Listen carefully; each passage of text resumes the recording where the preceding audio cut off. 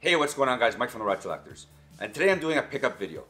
Games that I've picked up over the Christmas break, games that I picked up early on in January, games of galore, and games that were given to me. Without further ado, the Sega Dreamcast, as many of you know, is one of my favorite consoles of all time. And I'm going for a complete North American set. That requires me to get some of the lackluster games that you need for a complete set. The Sega Dreamcast has 248 games without variances in total in its library, and I'm sitting at about 174.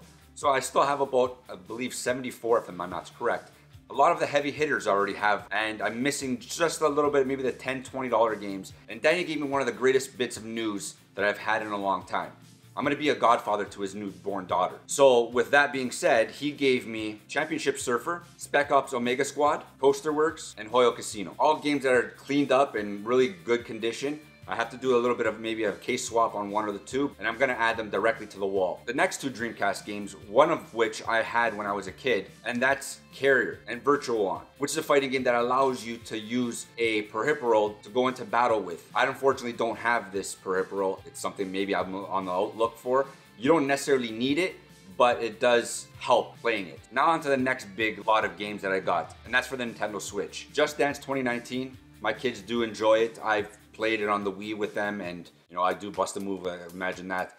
But this is a game that my kids do love. They just got it yesterday, and they love this game. They're playing a lot of their you know their pop music that they listen on the radio and being able to dance alongside of it was uh, you know icing on the cake for them mario party i play this with my daughters and i do love it uh, right now i only have two controllers so with the two of them i have to alternate between who i play against it is a fun game i'm not very big into mario party games i understand the purpose of them and play as a family together, but it does wear on pretty thin. My kids are very competitive when it comes to it, so they do kind of pout when they do lose. But it's a fun game nonetheless. Uh, not my cup of tea, but it does serve a purpose for me to play against them. This is the biggest game on the list, and that's Smash Bros.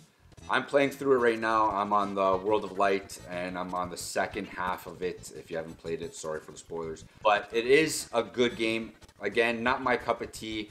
I never really got into Smash Bros. I played a little bit of uh, on the N64 when I had it, and I played a little bit on the Wii with Smash Brothers Brawl. There is a very big community, and I find it's just progressing way too slow. You're just doing the same battles over and over again, especially in the World of Light.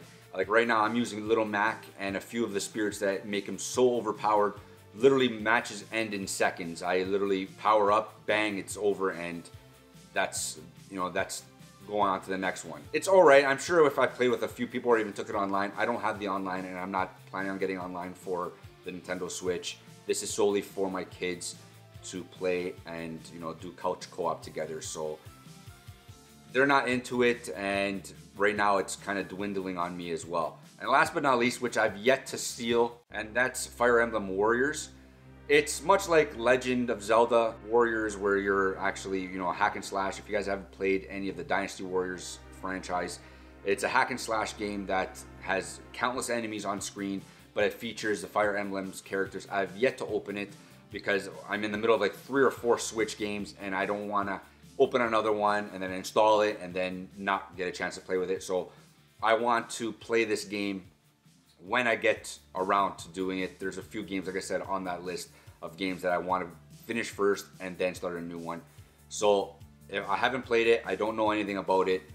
If you guys let me know in the comments down below if it's a good game, if it's worth my time. I paid I think nine dollars at EB Games, and it was for the price alone worth it for me because it was reduced from seventy nine dollars down to nine ninety nine. For the reason being that nobody ever bought it, and for nine dollars, who could pass that up? And last but not least, my VHS collection isn't something very big. I only have maybe four or five movies. And when Danny asked me to be the godfather to his child, he got me a VHS, which when I opened, I my eyes lit up.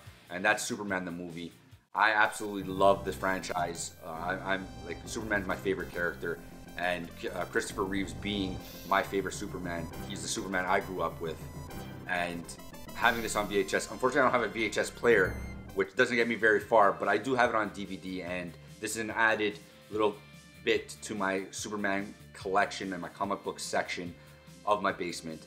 And adding this to the, the collection was an added bonus. And for the reason alone why he got it for me is icing on the cake. Well, that's what I picked up for the month of January. Please like, comment, subscribe. Let me know what you guys think. If you guys picked up any Switch games and what games have you picked up. Let me know if Fire Emblem's Warriors is any good and drop that in the comments down below. Thanks, guys.